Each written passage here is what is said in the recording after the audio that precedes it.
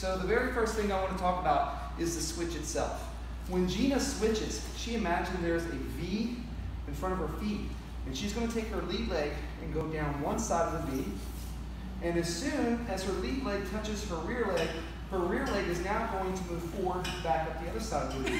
And now she's in a reverse stance and able to throw this lead side kick, okay?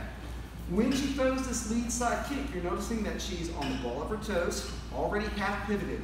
And now from here, as her leg leaves the floor, she's going to further pivot as she puts her lead hand, allowing me to catch the kick here, okay? And again, you notice her hip is engaged, her arm is whipped through, she's subtly leaned back so I can't punch her. She's pivoted, she's got good balance here, okay? And then I give her leg back to her, all right? So the drill is going to be here.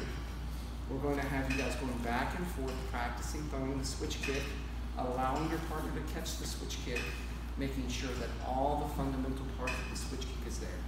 And those fundamental parts, after she switches and I catch, is to make sure she's pivoted, her hip is engaged, her arm is whipped through, and with a subtle lean back, she's got good balance. And then from here, I'll throw her leg back at her. Just go back and forth. Make sense? Yes, sir. All right, let's do a two minute round. Back